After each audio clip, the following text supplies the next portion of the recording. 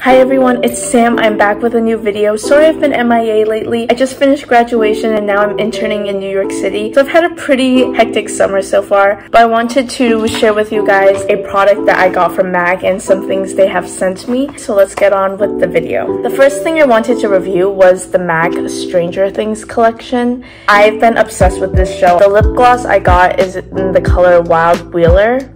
It is, I believe, a lip gloss and I love the packaging. It definitely gives off the Stranger Things vibes, very creepy, very mysterious. So it's really cute. And then you open it like this, and their packaging is so a plus because inside the packaging also has drawings of a notebook. When you open the packaging, this is what it is. It is a small lip gloss, a very fuchsia pink color, which I really, really love. And the packaging, like I said, is absolutely gorgeous. It says Tigers 1986. It just has the mascot of the school all the characters went to. Gives a very green vibe. The top is matte. And so when you open it,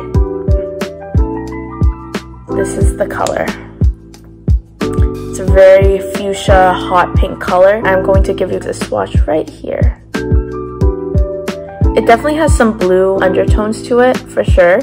And it smells just like the regular MAC iconic signature lip scent. It's very pretty and I'm going to give you guys a swatch on my lips. My lips are now cleared and I'm just going to go in and put this on my lips with just one coat.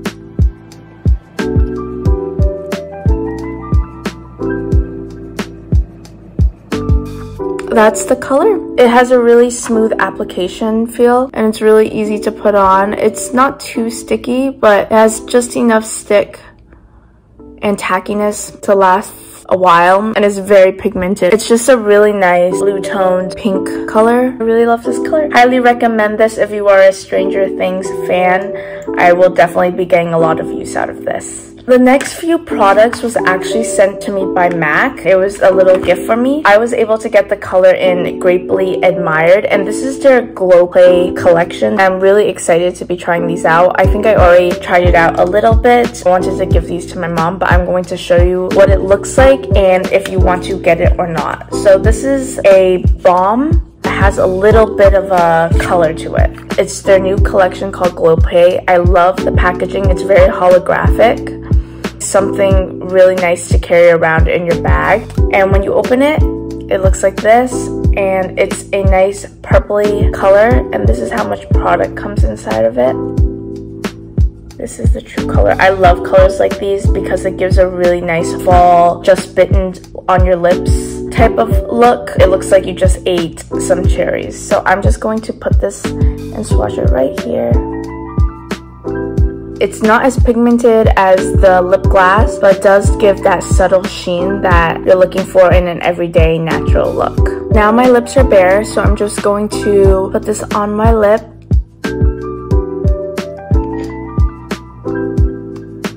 and this is what it looks like. This is such a great lip balm for everyday wear. It is so moisturizing. It just feels like you're wearing almost to nothing on your lips, just a really nice moisturizing balm with a little bit of color. So every day, if you're going to work, school, just going out the door and you're in a rush and you just need a little bit of color to your face, I highly recommend this. This is such a pretty color. Also moisturizes your lip at the same time. Highly, highly recommend this color. This is the Glow Play Lip Balm in the color Grapely Admired. The next product MAC sent me was their Glow Play Blush.